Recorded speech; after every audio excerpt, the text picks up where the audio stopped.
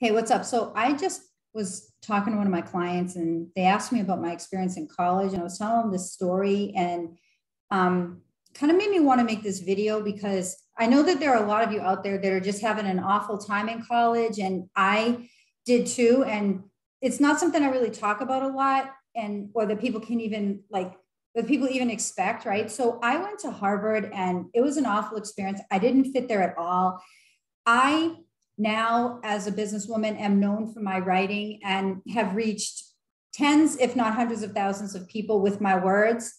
When i was at harvard i remember the first week of harvard i flunked the entrance exam the, the like entry writing test the initial writing test at harvard. I flunked it and i got put in like this awful class and they just like they i just didn't follow the format like, like i didn't write in a way that they like wanted me to write. And i just that was just like the beginning of me.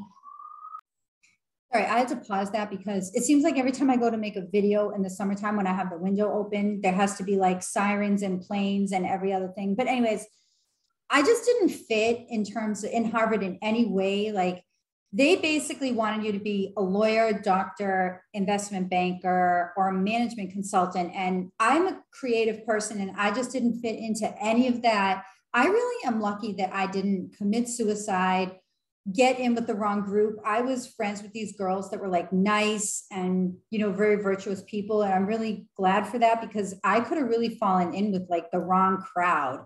I was so vulnerable at that point. My self esteem was in the toilet so, what I just want to say to all of you out there that are maybe going through the same thing is that, you know, look at me now. Like, I'm kind of known for being this like rebellious, going against the system kind of a person. And that was because I was going against the system ever since college.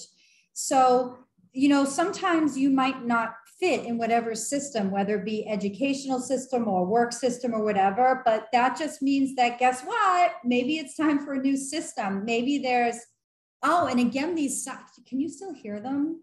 It's like, again, sirens outside my window. They won't stop. Anyways, it just means that maybe there, there need to be new systems. Because I think if you look at the way that the world works, it's obvious that there are problems that are not being solved and that just might be your indication that you are meant to solve a problem that the traditional methods are not meant to solve and that's exactly the route that i went.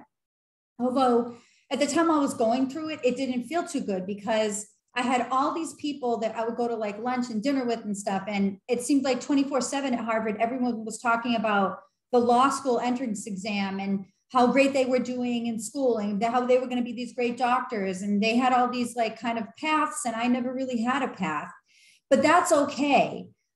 Just look to yourself really and look at what it is that's great about you. And i think if i had done that i would have saved myself a lot of pain and misery. And like i said thank god i didn't go the wrong way because i so easily could have. But don't you go the wrong way either all right. So just kind of like don't believe other people's marketing pitch about how great their system is and the fact that you flunked out of it because you're looking at a flunker here and I may have flunked at that, but in so many things now, I'm an A plus. And I mean, granted, it took me a while to get here too, but see what I'm saying? Anyways, I hope this video was helpful. And if you'd like to subscribe to my channel, then that'd be cool. Hope you do. See you in the next video. Bye.